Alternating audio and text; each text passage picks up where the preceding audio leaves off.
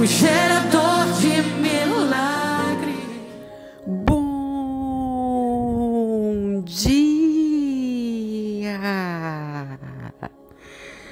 Você pode levantar as suas mãos para os céus, porque eu quero declarar a bênção do Senhor sobre a sua vida. O favor do Deus eterno, do Deus de Abraão, de Isaac e de Jacó sobre você. Que hoje a mão do Senhor te alcance mais uma vez. Que o seu favor e a sua misericórdia te envolvam e que você seja renovado em Cristo Jesus para viver as promessas dele sobre você, gerando o seu milagre alcançando o impossível, alcançando o sobrenatural você chegará do outro lado. O seu testemunho vai impactar a vida de muitas pessoas. E o nome do Senhor será exaltado através da tua vida. Eu te abençoo essa manhã e eu declaro que tudo aquilo que você tem colocado aos pés da cruz, Deus já está respondendo para você. Hoje é terça-feira, 25 de abril de 2023. Eu sou a Bispa Virgínia Arruda e eu trago para você a palavra do dia. E na campanha Gerando o Meu Milagre, dia 30 será o nosso encerramento. E eu vou subir a um dos montes mais altos do Brasil. E eu vou invocar o nome do Senhor naquele lugar pela tua vida. Eu vou levar o teu pedido lá em cima.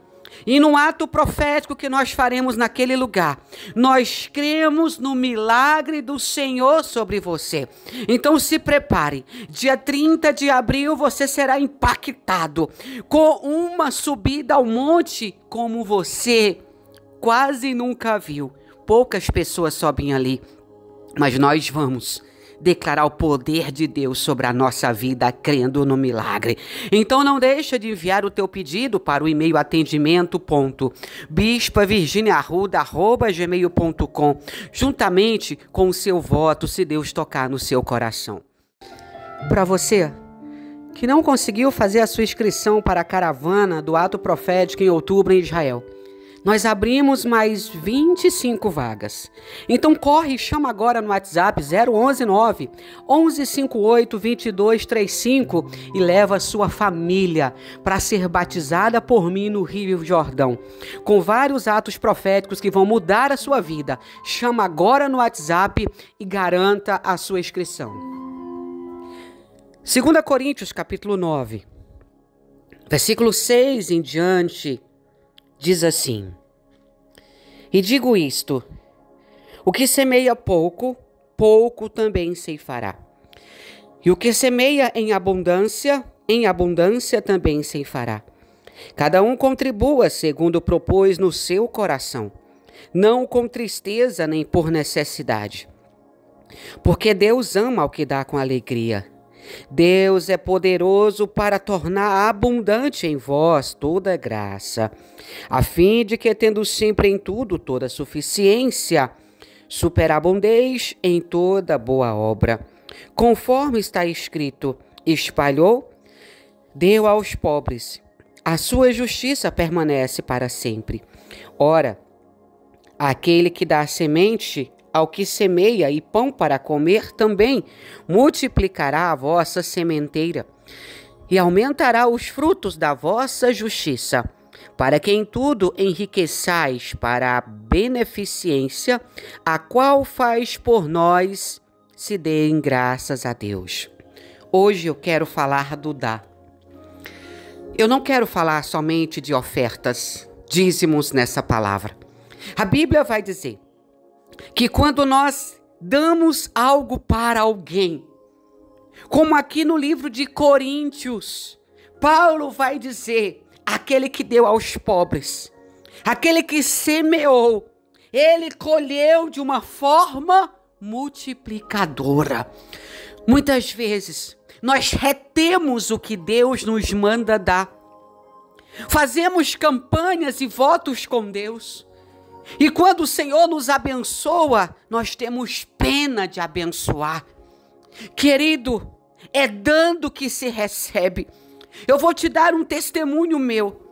A minha vida toda, o Senhor me disse: Virgínia, eu quero que você abençoe pessoas. Eu quero que você ajude aqui, ajude ali. E eu nunca perguntei, Senhor, se eu ajudar fulano vai faltar para mim. Se eu tirar do meu vai faltar para mim. Eu sempre respondi: Sim, Senhor. Se a ordem é tua, eu sei que o Senhor vai suprir em tudo as minhas necessidades. Nós temos um problema muito sério. Nós somos egoístas. Nós não queremos dividir aquilo que Deus colocou nas nossas mãos. Nos tempos antigos, os apóstolos, eles pegavam o povo e todos dividiam em partes iguais. Mas hoje, quando alguém tem, retém. E mesmo que Deus diga, abençoa a vida de fulano, você continua olhando e dizendo: Eu vou dar o meu dinheiro para aquela pessoa. Eu vou ajudar aquela pessoa. Eu vou abrir essa porta para aquela pessoa. Querido, eu quero te dar uma ferramenta de crescimento espiritual e material nessa manhã. Tudo que você faz por alguém, faça pensando no céu. Tudo que você der para alguém, dê pensando nos céus, porque é o Senhor que vai te retribuir 70 vezes mais tudo que você faz pela vida de um pequeno. Paulo vai dizer: o que semeia pouco, pouco também se fará. Tem pessoas que só sabem abençoar com miséria, com o resto. Ei, se você não gosta de sobra, não dê sobra. Se você não gosta do que sobra, do que resta, gosta do melhor, dê o melhor. As pessoas, quando vão ofertar ao Senhor também, fazer os seus votos ou até dizimar, tem muita gente que pega o dízimo e diz que é voto. Querido, dízimo não é voto, são coisas diferentes. Um dia desse eu recebi uma pergunta, bispa. Posso pegar o meu dízimo e comprar de cesta básica?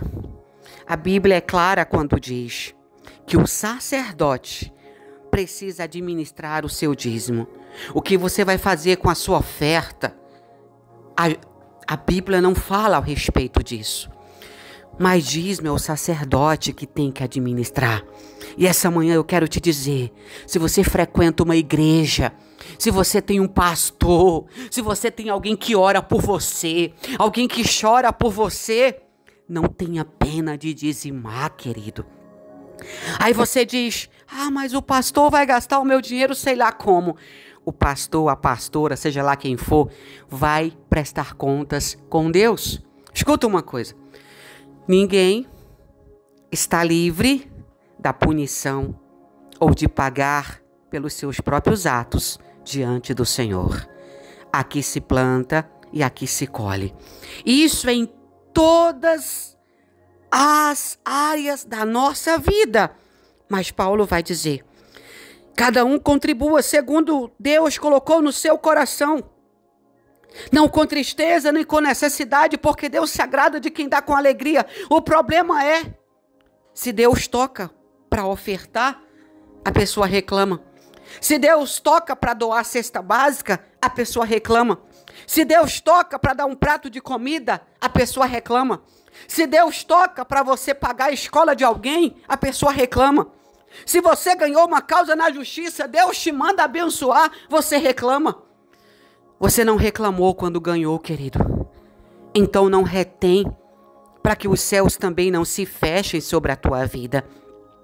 Quantas pessoas estão nesse momento precisando que você estenda a mão? Quantas pessoas estão chorando com necessidade do seu lado? E o seu egoísmo não te deixa estender a mão. Vou falar algo aqui.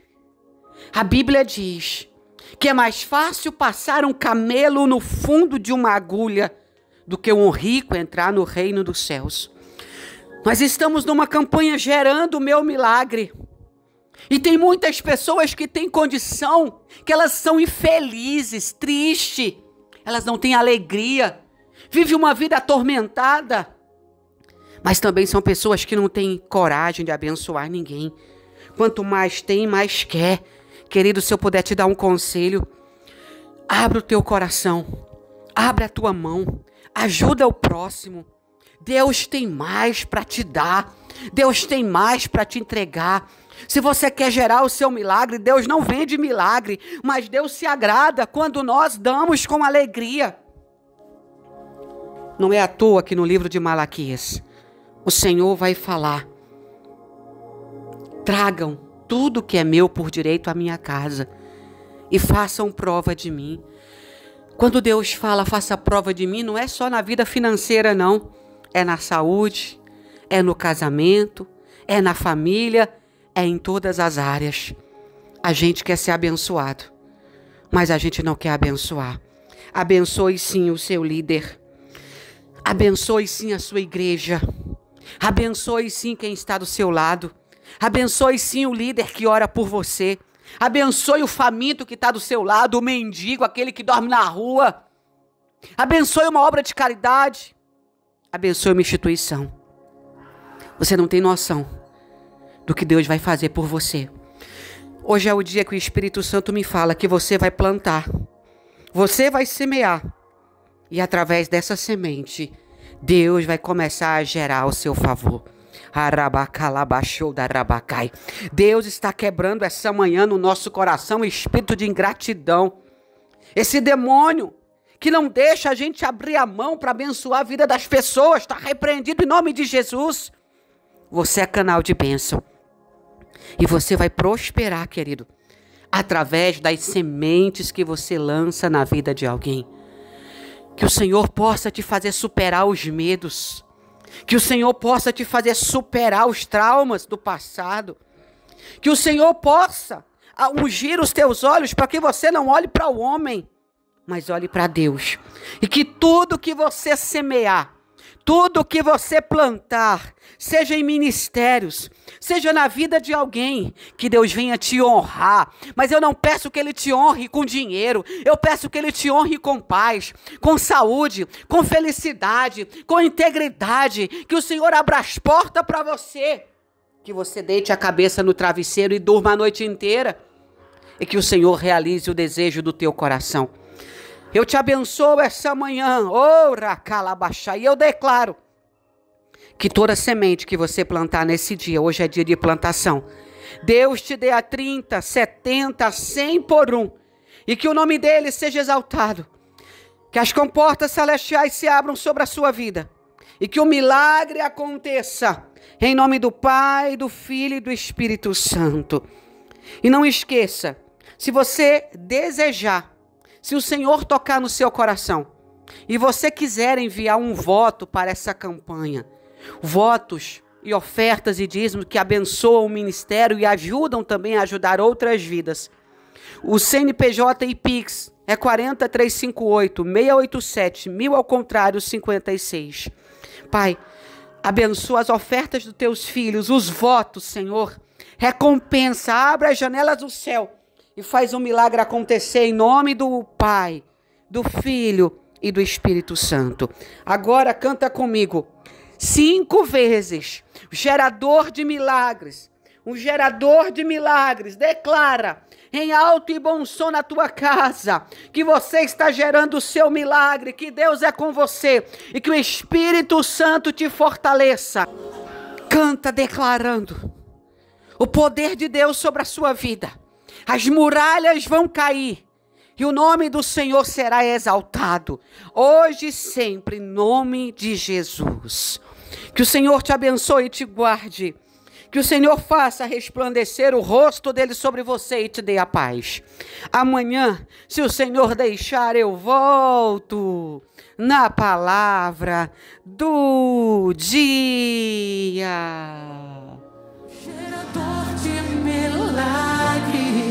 O gerador.